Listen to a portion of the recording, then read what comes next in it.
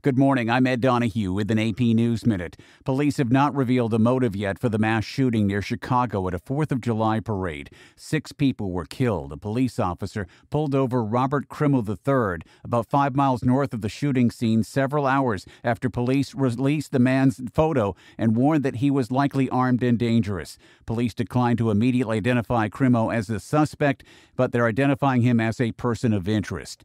Two Philadelphia police officers were injured when shots were fired shortly after an event started in front of the Philadelphia Art Museum. Philadelphia Mayor Jim Kenney says this is a gun country and one of the least safest countries. I'm waiting for something bad to happen all the time. So it's I'll be happy when I'm not here, when I'm not mayor and I can enjoy some stuff. Witnesses in Philadelphia say they saw some people being run over or banged into as police tried to flee the packed crowd.